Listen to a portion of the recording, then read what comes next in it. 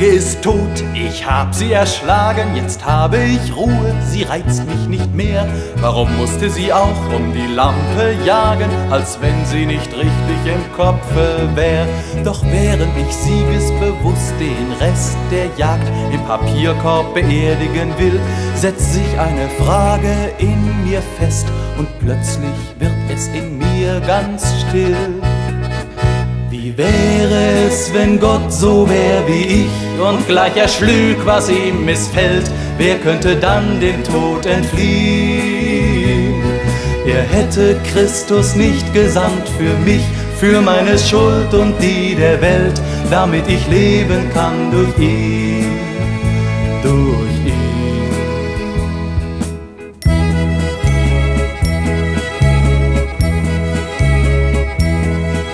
Dem Kerl da vorhin, dem hab ich's gegeben, den hab ich ja ganz schön zur Schnecke gemacht. Ich glaub, das werd ich nicht noch einmal erleben, dass einer so einfach über mich lacht. Doch kaum sind die letzten Worte gesagt, noch hängt wie in Schwaden mein Ärger im Raum. Da ist es schon wieder, was in mir mich fragt, und wieder ertrag ich die Antwort kaum. Wenn Gott so wär wie ich und gleich erschlüg, was ihm missfällt? Wer könnte dann dem Tod entfliehen? Er hätte Christus nicht gesandt für mich, für meine Schuld und die der Welt, damit ich leben kann durch ihn,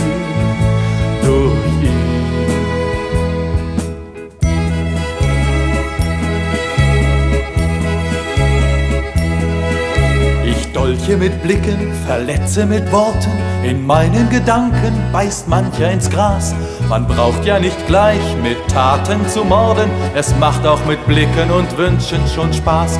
Doch hab ich nach einer gewonnenen Schlacht, nach einem gelungenen Hieb oder zwei, mir laut oder leise ins Fäustchen gelacht, fällt mir doch gleich wieder die Frage ein. Wenn Gott so wär wie ich und gleich erschlüg, was ihm missfällt? Wer könnte dann dem Tod entfliehen? Er hätte Christus nicht gesandt für mich, für meine Schuld und die der Welt, damit ich leben kann durch ihn, durch ihn.